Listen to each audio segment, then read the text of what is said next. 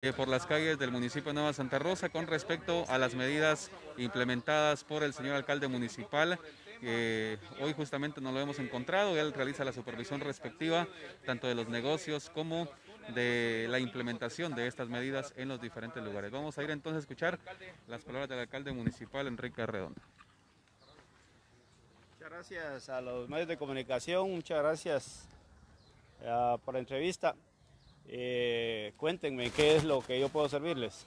alcalde, ¿qué opinión le merece a usted de la decisión eh, y la publicación que hizo el Ministerio de Salud en cuanto a los túneles y los químicos?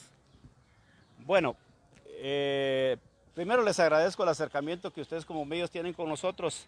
me imagino que la idea es porque aquí fue donde se hizo el primer túnel de desinfección y que para nosotros sigue siendo una idea formidable y que la, seguimos aplaudiendo hasta el día de hoy y nos sentimos orgullosos de que Nueva Santa Rosa haya hecho el primer túnel de desinfección en esta calamidad que tenemos con el COVID-19. Eh, lo que el Ministerio de Salud está diciendo hoy, comparto una parte, más no comparto todo. Primero, porque lo que debería, los túneles de desinfección siguen siendo buenos lo que el ministerio debería de hacer en este momento con los túneles de desinfección y con el esfuerzo que están haciendo muchas gentes en muchas comunidades y muchos alcaldes en muchos municipios es de orientar, capacitar y certificar algún producto que ellos consideren adecuado para el uso. Eso es lo que realmente deberían de hacer y no decir que los túneles no, no funcionan, porque los túneles sí funcionan. Lo que deberían de hacer ellos es tal vez abocarse a la facultad de, química y farmacia de las universidades para certificar un producto y que lo que capaciten a la gente que tienen los túneles para que den y apliquen un producto que sea eh, amigable con el ser humano, amigable con el medio ambiente y amigable con todo. Eso es lo que realmente deben hacer. Pero decir que los túneles no funcionan o no sirven, eso está mal encaminado. Aquí en Nueva Santa Rosa, nosotros estamos aplicando Juasan, estamos aplicando 10 litros por cada 1100 litros de agua. Y yo quiero que busquen en las redes sociales, que busquen en los medios eh, que puedan, ¿En qué se convierte la mezcla de agua con juguasán? Se convierte en piróxido de carbono. ¿Qué es piróxido de carbono? Es agua oxigenada. Eso, en eso se convierte. Ahora quiero que busquen en los diferentes medios que, para qué sirve el agua oxigenada. Yo quiero contarles que el juguasán incluso se utiliza para potabilizar el agua. Sirve como cloro para el agua y esa agua se puede tomar, hasta para eso sirve. Entonces, ¿por qué nosotros estamos utilizando eso? Porque sabemos y tenemos las bases para decirles de que este producto es amigable con el ser humano, es amigable con las frutas, con las verduras, con la comida, es amigable con todos.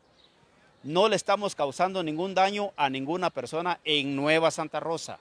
Ahora, ¿Qué están utilizando en otros túneles de desinfección, en otros municipios, en otros lugares, eso es lo que tienen que ellos especificar y regir. Ese es el trabajo del Ministerio de Salud, ¿verdad? Poner un líquido que sea amigable como lo es el juguasán mezclado con agua que se convierte en agua oxigenada. ¿Por qué nosotros tenemos garantía de esto? Aquí en Nueva Santa Rosa tenemos el invernadero más grande de Latinoamérica, que se llama Popoyam. Ellos pasan por esos túneles de desinfección de Huasan, pasan entre 10, 15 y 20 veces diarias para entrar a diferentes invernaderos de diferentes cultivos como tomate, chile, pepino y otros. ¿Y dónde están los daños que tienen ellos? Ninguno. tenemos 25 días de tener el túnel de desinfección eh, peatonal nosotros en Nueva Santa Rosa, ¿dónde están los daños en las personas? No hay, porque este producto que nosotros estamos utilizando, que creo yo, creo, eso es muy particular, es el que debería de usarse a nivel nacional y general. Ahora, hay algo que no me explico yo, ¿cómo es posible que que ellos están diciendo que los túneles no funcionan si el hospital de Zacapa tiene un túnel en la entrada, el hospital de Chiquimula tiene otro, la Universidad de San Carlos, que fue el que dio la voz de alerta que los túneles no eran aconsejables, ellos mismos hicieron uno en Amatitlán.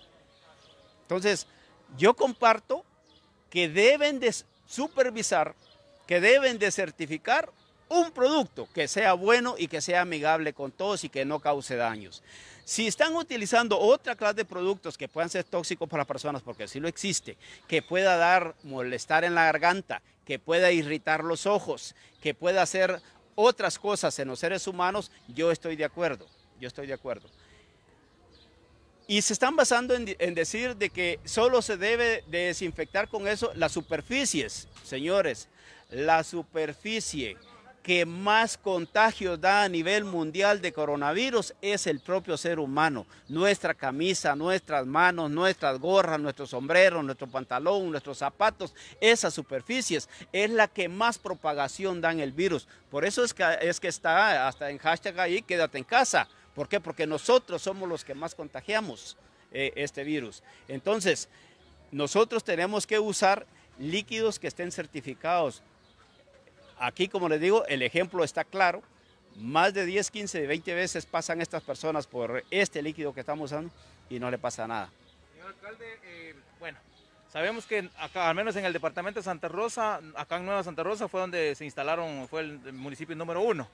Eh, pero la molestia también que existe entre otros alcaldes es porque, porque hasta ahora el ministerio se viene a pronunciar después de que han hecho inversión en todo esto, ¿verdad? Mire, yo aplaudo la labor de todos los que han eh, hecho un esfuerzo en contra de este virus.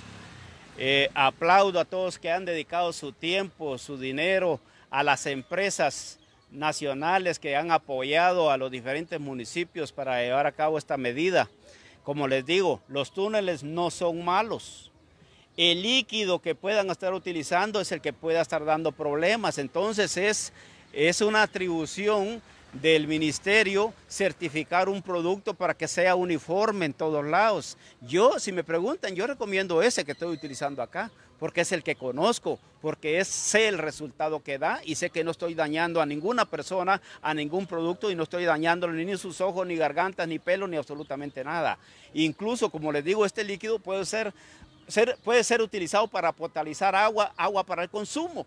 se pueden imaginar ustedes. Entonces yo creo, y la recomendación que yo haría, que no soy quien para recomendarle, pero valga, eh, le haría yo al ministerio de que ellos certifiquen un producto y que lo uniformen a nivel nacional para usarlo, pero que hagan un buen estudio de cuál va a ser ese producto. ¿verdad? Entonces, eso es lo que yo tengo que decirles sobre los túneles de desinfección y aplaudir a todos los que lo están haciendo y solo que usen un producto que de veras sea algo que sea amigable con el medio ambiente, con las frutas, alimentos y más con el ser humano, ¿verdad? Señor alcalde, eh, ¿qué recomendación le daría usted a los eh, municipios o los alcaldes vecinos que también han estado implementando Juazán Vimos el día de ayer la inauguración también de uno de túneles de desinfección peatonal en Santa Rosa de Lima y hoy dejan de funcionar por este tipo de, notificaciones que manda el Ministerio de Salud. ¿Cuál es la opinión o eh, la recomendación que le daría a los alcaldes vecinos? Bueno, yo no voy a contravenir eh, la sugerencia que dio el Ministerio de Salud. Eh, ellos pueden sugerirnos, como dice la nota, nos están sugiriendo que no lo usemos, pero es una sugerencia. Pero yo sé exactamente lo que estoy haciendo en Nueva Santa Rosa y sé que no le estoy causando daño a nadie. Al contrario, estamos haciendo esfuerzos, contribuyendo con el señor presidente para eh, que este virus no se exponga aquí en, Nueva Santa Rosa.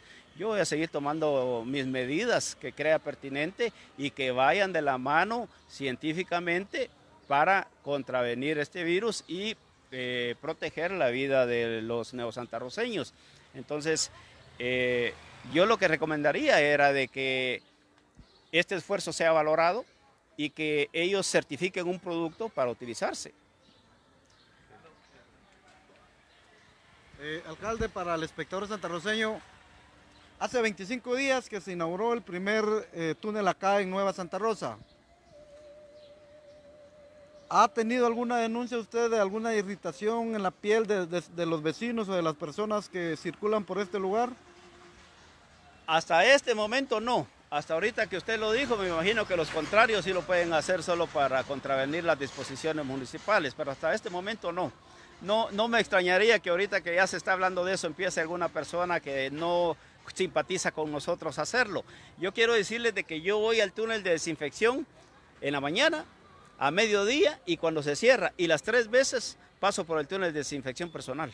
¿Los va a quitar o continúa con las mismas medidas que actualmente están? Mientras no sea una orden presidencial, no. Mientras solo sea una recomendación, no lo voy a quitar.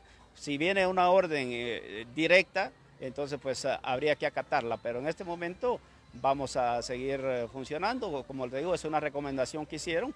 Yo sí sé lo que estoy haciendo en el municipio y como le digo, ya tenemos ya 20, 25 días de estarlo utilizando y no tenemos una sola queja al día de hoy, que no me extraña que de aquí en adelante puedan salir algunas, ¿verdad? Yo quiero aprovechar los medios de comunicación hoy, señores, muchas gracias. Eh, hay cosas que, deben de preocupar que va de la mano también con la pandemia. Y es que eh, no hay recaudación de impuestos en este momento. Eh, yo no quisiera estar en los zapatos del señor presidente y me pregunto cómo le irá a hacer el presidente para pagar los salarios de todos los empleados públicos.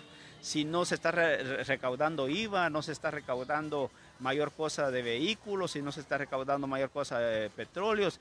Eh, asumo yo de que tal vez hasta nosotros las municipalidades vamos a salir afectados porque la constitución dice que de la recaudación nos dan el porcentaje a las municipalidades. Y eso me preocupa y tenemos que hacer un plan económico de emergencia aquí en la Municipalidad de Nueva Santa Rosa porque eh, yo no puedo exigirle al presidente que me dé eh, todo el situado constitucional si no está teniendo los ingresos como deben de ser. Entonces, esa es una preocupación que, la tengo y que la he extenuado a algunos alcaldes porque nosotros tenemos empleados, nuestra MUNI es pequeña, pero el Estado cuántos empleados tiene las municipalidades grandes, ¿cuántos tiene? ¿Cómo van a cubrir sus gastos de funcionamiento si no tenemos ingresos, si el Estado no tiene ingresos, si la municipalidad en este momento, Nueva Santa Rosa, el día de ayer entraron 36 quetzales a la MUNI? De, gastos de, ingresos propios. Entonces es una preocupación que, tenemos y, y que vale la pena irla también sopesando porque nos podemos ver después en una crisis donde pues se provocaría más desempleo y hay que prever esto. Eh, yo por ahí se me ocurrió anoche que no podía dormir por la situación que estamos viviendo y le haría tal vez una recomendación a quien corresponde, eh, a quien quiera poner la iniciativa en el Congreso de hacer una ley transitoria donde se graben los sueldos ahorita de, los funcionarios y de las personas que ganen más de 20 mil quetzales. Por ejemplo, nosotros los alcaldes, pues es raro el que gane menos de 20 mil quetzales. Entonces que nos pongan impuestos, ahorita un impuesto transitorio, una ley transitoria de impuestos transitorios mientras dura la, crisis y que nos pongan un impuesto, tal vez que, que, nos, que el impuesto sea un 50% de nuestro salario, ¿verdad? Imagínense que yo conozco a los alcaldes del país porque me ha tocado recorrer el país muchas veces y estoy seguro que los alcaldes aplaudirían eso porque los alcaldes son de aquellas personas dispuestas y predispuestas siempre a colaborar. Ya lo hicimos en, la catástrofe que pasó con el volcán eh, de agua, volcán de juego, perdón. En el volcán de juego, los alcaldes donamos mucho nuestro salario. Y hoy estamos en una situación mucho más complicada que el volcán de juego. Entonces, si pudieran sacar una ley transitoria donde sean grabados los sueldos de los alcaldes, los sueldos de los diputados, los sueldos de los ministros, los sueldos de aquellos funcionarios públicos que devengan de una cantidad de X para arriba. Los empresarios, las, las empresas que siguen laborando, todas las personas en Guatemala que tienen sueldos más allá de 20 mil quetzales, por decir un número, tal vez que sean grabados con impuestos en este momento. ¿Por qué razón? porque no es, eh, no es bueno estar saliendo un alcalde, un diputado, miren, hoy voy a regalar mi sueldo y hacer publicidad de eso. No, yo creo que si hacen una ley transitoria donde puedan grabar nuestros impuestos, en, nuestros sueldos en estos momentos, eh, caería muy bien a la nación y caería muy bien también a la población, porque mientras los funcionarios tenemos un sueldo que no sé cuánto, pero por ejemplo yo gano 21 mil quetzales, yo estoy dispuesto a que me sancionen con 50% y, y que me den 10 mil 500 y los otros 10 mil 500 pues que vaya para un fondo que sirva para ayudar a la demás gente. Así yo estoy seguro que los alcaldes aplaudirían esto porque yo conozco el corazón de la gente de los alcaldes, eh, conozco el corazón de los alcaldes en el país y la de los diputados y otros funcionarios pues no los conozco, pero sí eh, pongo al aire esta iniciativa para que eh, pueda hacerse una ley transitoria en el Congreso y grabar estos impuestos. Y déjenme decirles de que no estoy seguro, pero creo que Colombia ya lo está poniendo en práctica. Colombia ya lo está poniendo en práctica de grabar con impuestos los sueldos que pasen de una cantidad para ayudar a la gente necesitada. Yo pongo a disposición ahí mis sueldos sin ningún problema para que esto lo hagan. Eh, eso lo pueden hacer en el Congreso, solo es de que alguien tome la iniciativa en el propio Congreso o de repente el mismo Ejecutivo lo puede plantear. El asunto es que en este momento todos necesitamos de todos y no considero yo muy justo, muy justo que a pesar del trabajo que estamos haciendo, que yo tengo mi sueldo, pero yo respeto mi sueldo, porque lo gano, porque lo desquito, porque sé que mi sueldo todavía hasta poco es para el trabajo que hacemos, pero más sin embargo hoy en esta situación me pongo a pensar en la gente que está parada y que no tiene un trabajo, que si lo tenía y lo perdió, que si lo tenía y no lo está desarrollando, por el toque de queda, por las medidas de restricción que hay. Entonces hoy tenemos que ser condescendientes. Yo animo y lo dejo en el aire para que no sé si en el Congreso o la universidad o aquellos ponentes de, leyes que están autorizados para hacerlo, lo puedan llevar a la práctica y lo puedan llevar a hacerse una realidad, a que hoy los sueldos de los funcionarios o las personas en el país que ganen más de 20 mil quetzales sean sancionados con impuestos y que pueda ese fondo hacerse para ayudar a nuestros vecinos en nuestros pueblos, en nuestras comunidades, en esa Guatemala, la Guatemala profunda que es la que realmente está sufriendo en este momento. Alcalde, eh, se eh, algunos alcaldes han estado comentando de que, bueno, usted es representante también de, ante el CONADUR, ¿verdad?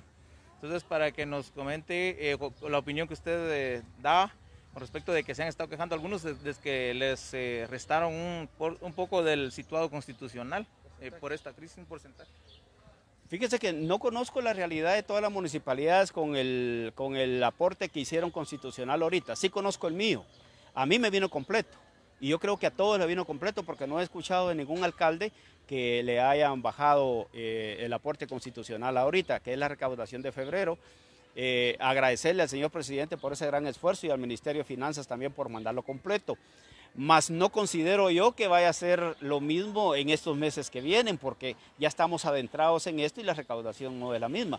Ojalá el presidente tenga por ahí una varita mágica y el Ministerio de Finanzas también para y que nos den completo, que sería fabuloso.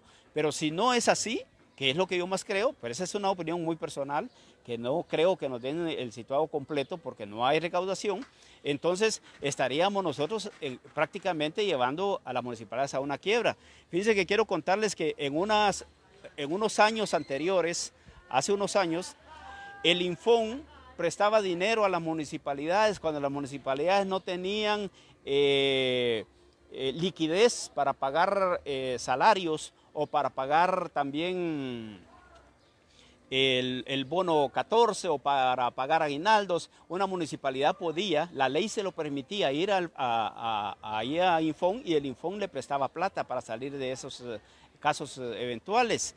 Eh, muy bien pudiera ser otra ley transitoria en este momento, donde por efectos de esto de que nos está pasando y por el tiempo que dure, las municipalidades que se vean afectadas para no caer en esa quiebra pudieran solicitarle al Congreso una ley transitoria donde se revoque esos artículos en este momento que prohíben hacer préstamos a las municipalidades con el Infón para poderle pagar los sueldos a, los empleados públicos, porque en este momento muchas municipalidades no vamos a tenerles cómo pagar a los empleados, como muchas empresas hoy están cayendo en el mismo problema. Pero estoy hablando en este caso del sector puramente del sector público. Y ¿Por qué me preocupo también por los empleados municipales? Me preocupo porque primero son mis empleados. Segundo, porque en esta Municipalidad Nueva Santa Rosa todos estamos trabajando 24 horas.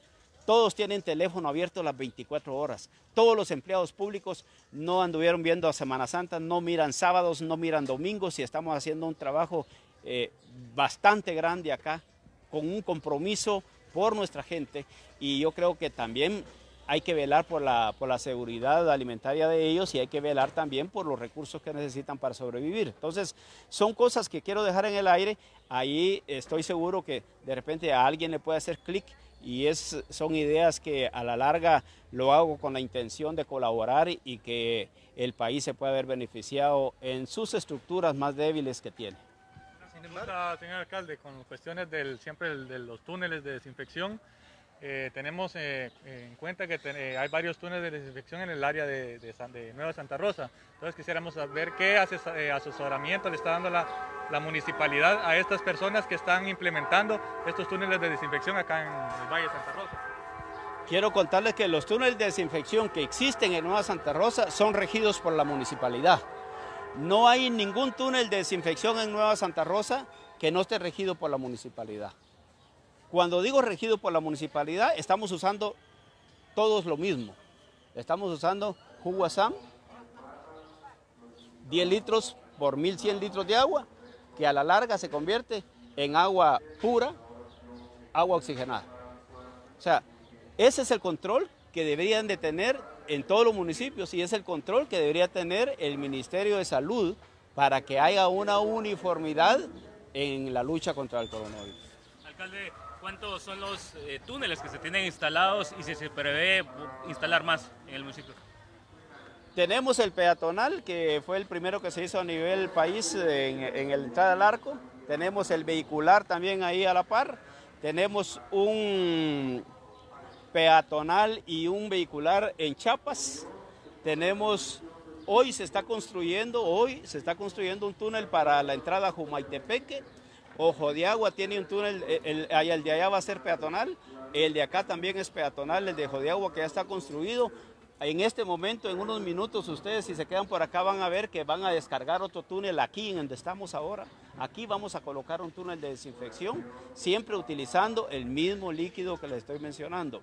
Entonces, aproximadamente tenemos ya entre 6 y 7 túneles y tenemos puesto de desinfección de manos, con cremas, eh, con desinfección de vehículos, llantas. Aproximadamente tenemos 10 en, lo que es el municipio de Nueva Santa Rosa. Miren, la desinfección de manos, nosotros utilizamos algunos productos. Yo menciono Juguasán porque es el que a mí me recomendaron los técnicos, las personas que saben. Yo no estoy menospreciando. Miren, hay un artículo, hay un artículo que yo se lo voy a compartir a ustedes que es de unos científicos alemanes, donde dice que el agua oxigenada mata las bacterias y debilita los virus. Y yo se los puedo mandar ahí para que ustedes lo tengan. Eso lo dicen los científicos alemanes. Yo no estoy eh, desmeritando a los científicos guatemaltecos, pero sí las acciones las tenemos que tomar con responsabilidad. Y tenemos que hacer cosas, no hagamos cosas que parecen buenas que al final son malas ni malas que después que, que, parezcan, no, hay que hacer las cosas correctas, hay que informarse, hay que hacerlo, porque si estamos resguardando la vida de la población, lo tenemos que hacer con mucha responsabilidad. No estamos hablando de otra cosa que no sea eso, ¿verdad? La desinfección de manos nosotros lo hacemos con, con cremas que se los voy a poner ahí, miren, es una crema. No le voy a poner el nombre de la crema porque si no van a decir que yo tengo comisión ahí, pero no, ni con jugazán, ni sé quién vende el jugazán. No sé quién lo vende, no tengo contacto con ellos, pero es lo que funciona, es lo que a nosotros nos ha funcionado. Entonces, ¿qué daño puede hacer una crema desinfectante contra antibacterial en las manos? Ahora, si usted usa alcohol en las manos, pues mire, ya las tuviera yo peladas de pasar allá en el túnel también, ya tuviera mi piel manchada por pasar en el túnel. Entonces, y yo paso tres veces diarias en el túnel. Entonces, ahí es donde yo les digo que hay que saber realmente qué es lo que está utilizando y entiendo perfectamente la preocupación del Ministerio de Salud. Pero entonces, esa preocupación que se traduzca entonces en responsabilidad, que nos digan qué producto del certificado va a utilizar y que sea funcional. Muchísimas gracias, son las palabras del señor alcalde municipal Enrique Redondo para esta oportunidad compartiendo con todos ustedes la información y los detalles. Es de esta forma entonces que el alcalde municipal Enrique Redondo se manifiesta esto por la decisión por parte del Ministerio de Salud en cuanto a la, observación al uso de los túneles. Pues recuerde, mientras la información surja minuto a minuto a través de la cuenta oficial del espectador santarruceño, usted se va a informar. Nosotros nos vamos a movilizar a otro sector porque recuerde, juntos saldremos adelante. Y es de esta forma entonces que finalizamos esta transmisión.